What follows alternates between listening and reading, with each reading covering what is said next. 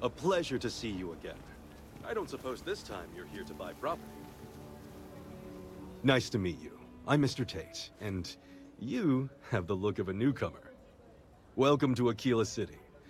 I don't suppose you're in the market for real estate. If so, then look no further.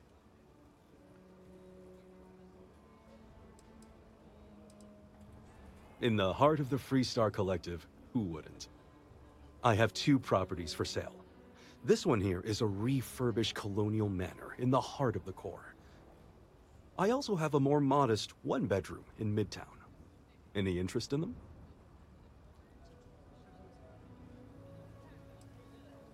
It's my favorite listing I've had in years. Spacious, in the core itself. I took great pains to get all the approvals, so the neighbors should be no problem. It's historic and spacious. Oh my, so much space. And the price is a veritable bargain. You have made my year with this. I just know this manor will bring you nothing except joy and good fortune. It's yours.